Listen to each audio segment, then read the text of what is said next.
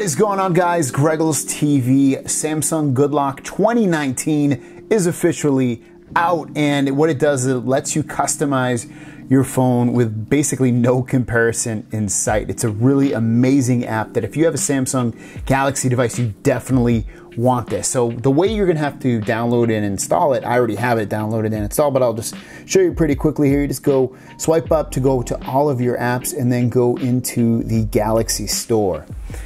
Open up the Galaxy Store and what you're gonna do at the top here is hit the search button and search for Good Lock and it should pop right up. It should be the first one. Just tap on it, and, and mine says open because it's already uh, downloaded and installed. So just download it. Once you have it downloaded, open it up. And then you're gonna have all these little categories right here. And if you wanna download them, which you're gonna want to, just click on it and then hit download and then go back into the Good Lock app and do the same thing for each additional category here.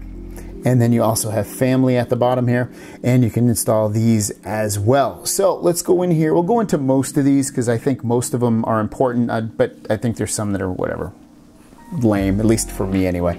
So the first one is Lockstar, create new lock screen style. So click that open, and in here you can turn it on and you can custom create your own lock screen. So if you hit the plus sign, you can go in here and you can choose the background that you want.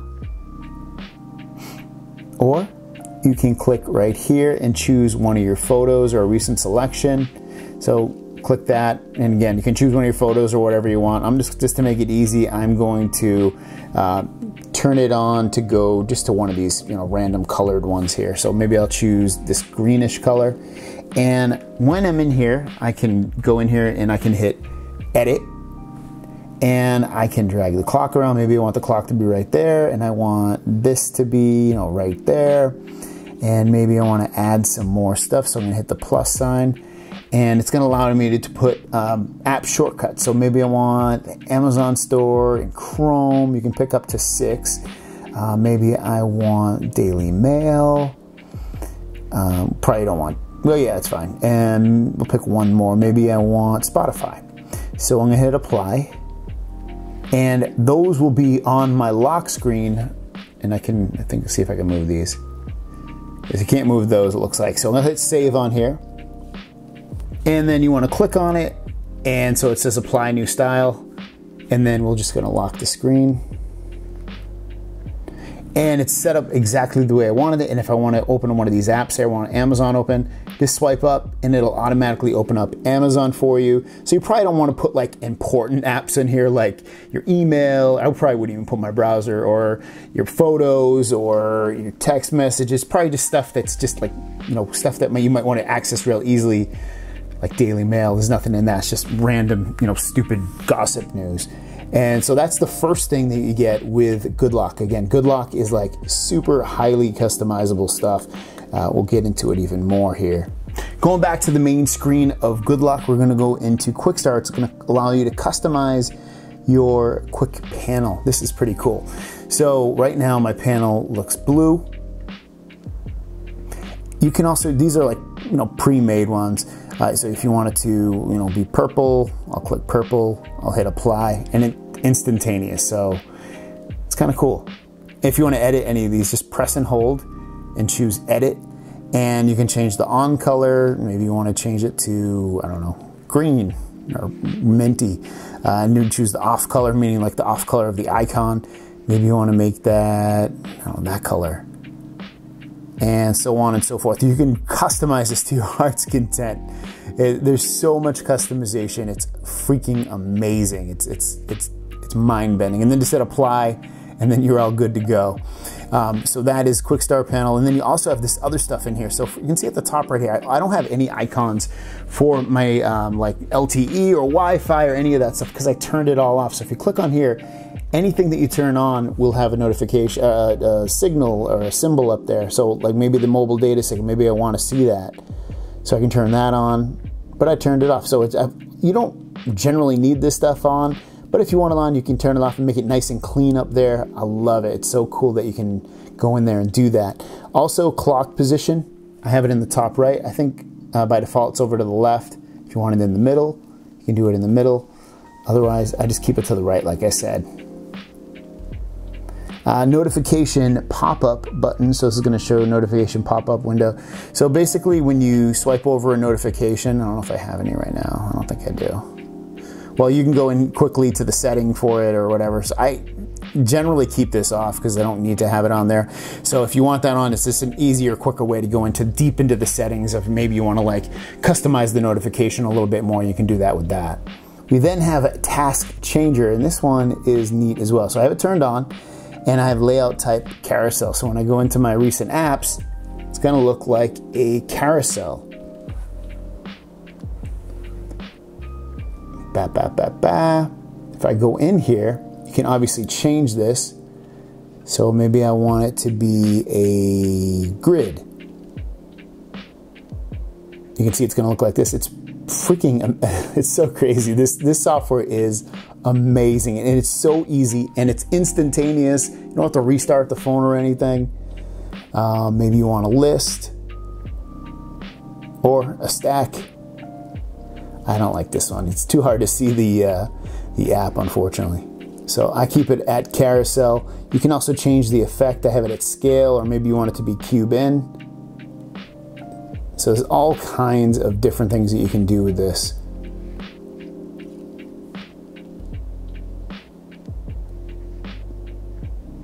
You can also turn on mini mode and it makes these ultra small. You can blur the background. See it's blurred, otherwise you can see what's behind the background.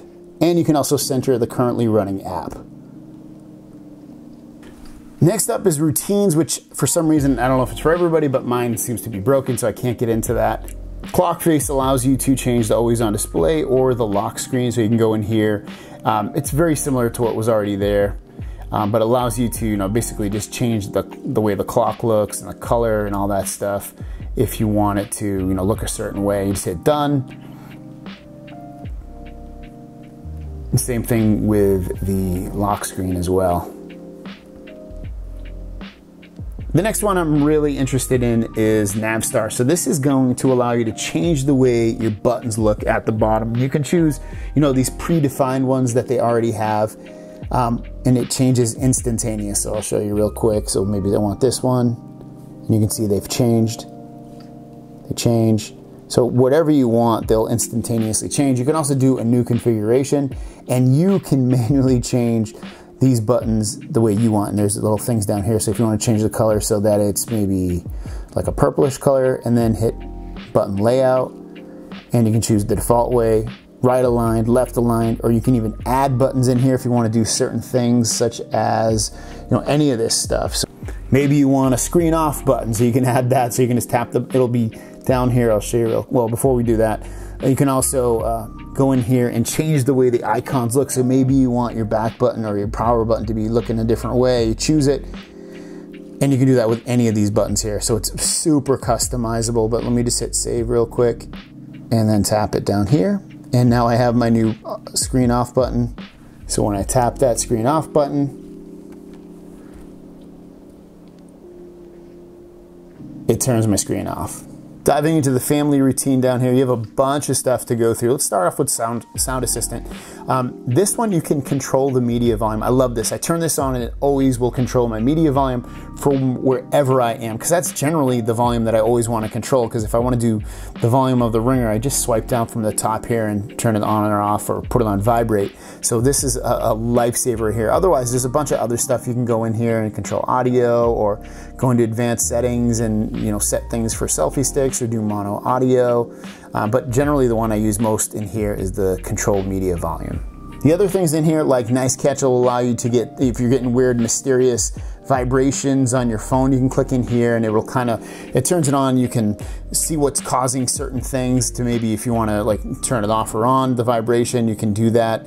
Um, same thing with, you know, anything on here. Uh, so just, it's just a way, it's called Nice Catch. It's just a way for you to figure out what, what's making sounds or what's causing vibrations, which apps. One hand operation, I don't use this one either. It just allows you to use your phone more easily uh, with one hand. Again, I, I don't do it, but it just makes things smaller and easier to reach basically. These ones are pretty cool, such as edge lighting. So edge lighting, you can see right there, it allows you to customize all kinds of stuff. So you can click on effect and you can see what the notification will look like or you know whatever one you're going to choose. So tons of customization with that. And then after you choose the effect, maybe you want to change the color. Maybe you want it to be uh, whatever color you want, you can choose it. Maybe you want it to be green, so you hit done. Um, and then maybe you want to change the transparency. You can do that. You can also change the width if you want it to be really wide or maybe skinnier. You can do that.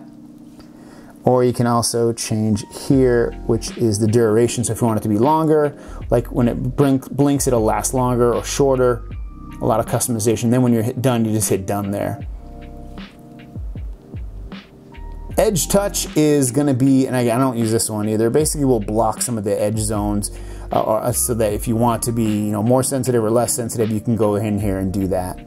And then just to go back to the main one here, the one I didn't really touch upon was Multi-Star, which says enjoy enhanced multi-window experience. So when you click on here, you can see, I, I, don't use this either, but you can see uses additional options, tap the bar between the app windows to access additional options. Uh, you can change the split screen color. Uh, you can use multi-window without pausing. So there's a bunch of stuff you can go in here and, and enable and do. Uh, I just don't, for me, it, it, doesn't, you know, do much of a, uh, of a thing. This is the only thing that makes you restart is uh, this, the multi-window to all apps. Um, and that's it. This is it. the app is really easy to use and to set up. So use it to your heart's content and customize your phone, guys. It's an amazing app. It's free, and if you have a Galaxy device um, that's fairly recent anyway, you can download this app and use it. So thanks for watching. Don't forget to subscribe, and we will see you down the road. Peace.